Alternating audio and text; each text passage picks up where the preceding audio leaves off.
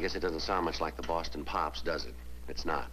It's Pete Kelly's Big Seven. The name of the tune is Sugar. This is a 1927 hi-fi.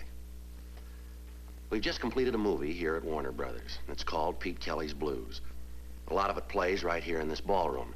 A lot more of it in a Kansas City speakeasy called Rudy's.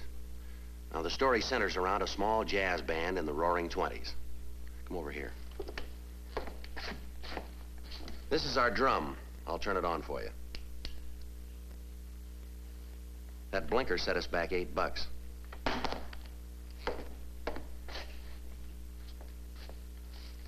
I use this all the way through the picture. As you can see, it's not a Smith & Wesson. It's a Boston three-star cornet. I don't know if much comes out of here, but a lot of practice went in. Come on over here.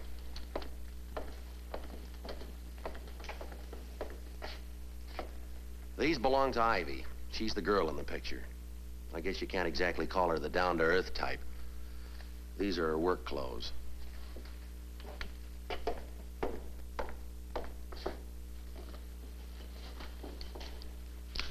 This is a mean-looking thing, isn't it?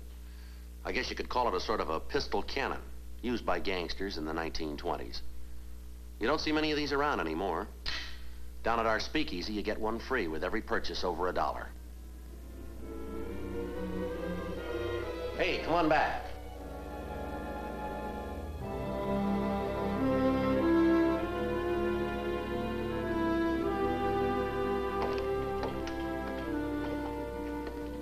This is a CinemaScope camera. The man behind it is one of Hollywood's finest cameramen, Hal Rosson. He photographed Pete Kelly's blues. We think he did a good job. Here's how some of the people look. Janet Leigh.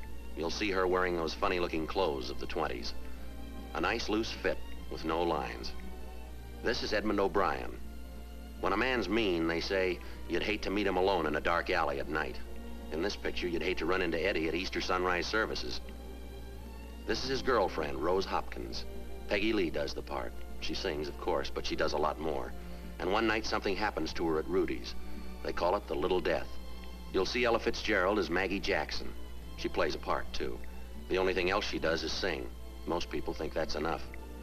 This is Lee Marvin. He plays Al Gannaway, clarinetist in the band. Andy Devine's in it, too. Yeah, Jingles hung up his spurs long enough to do a tour of duty in Kansas City.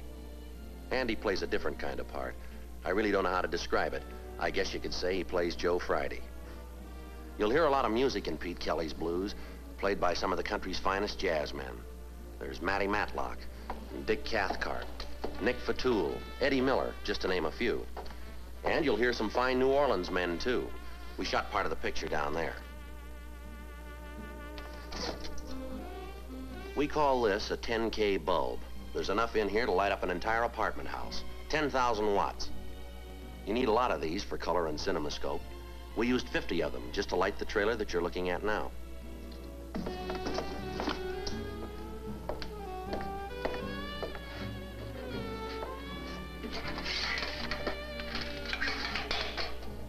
Well, I'm on my way over to look at this reel of film. I sure hope you'll come and see it. A lot of unexpected things happen in this picture.